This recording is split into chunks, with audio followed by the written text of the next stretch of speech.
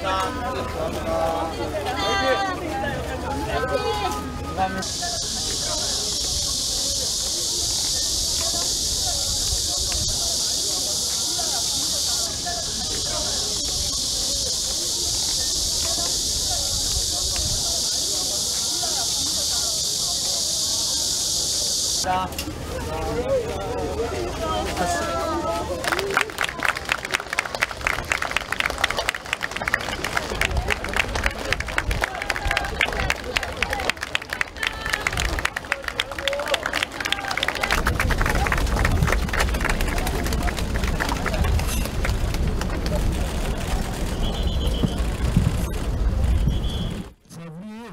앞으로 열심히 살아가자 친구들을 위해서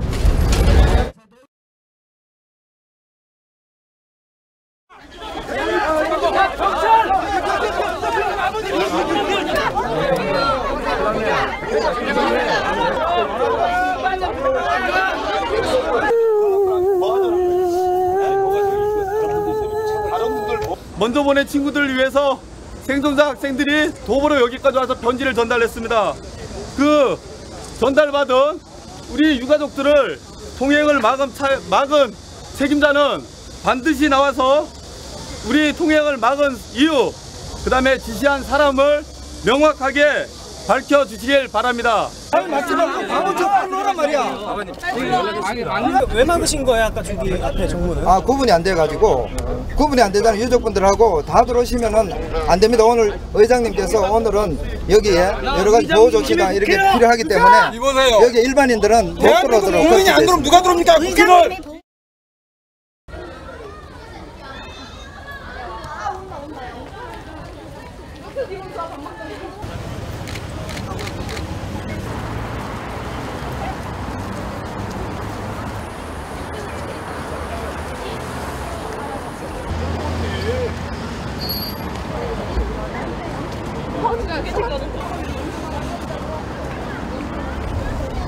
이번 기회에 얘들이 가슴에 응어리 맺혔던 거를 친구들한테 뭔가 해주고 싶은데 그게 없었던 거잖아요.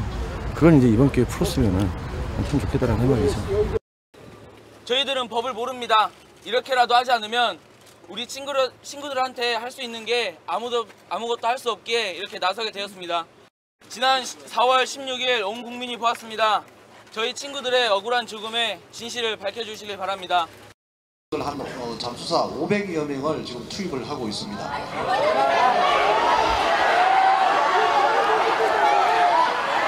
야 뉴스도 보도를 제대로 해야지 다 거짓을 하냐? 누가 믿고 뉴스를 보냐?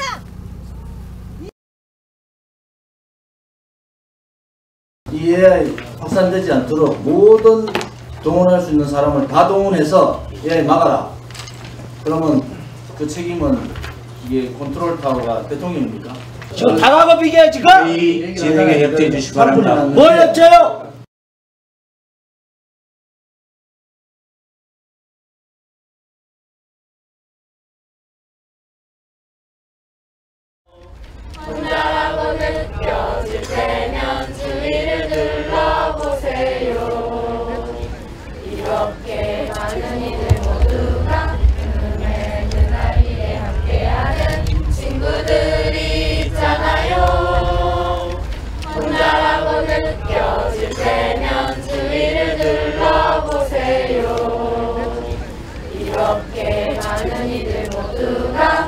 나의 친구랍니다.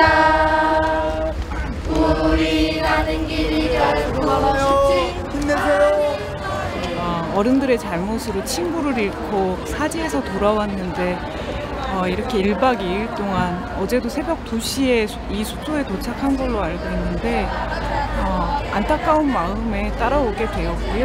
그래서 함께 뭔가 모든 분들이 좀 마음을 함께 모아서 이 일을 진상규명을 빨리 했으면 좋겠어요. 예. 얼굴 찌푸리지 말아요. 모두가 힘들잖아요.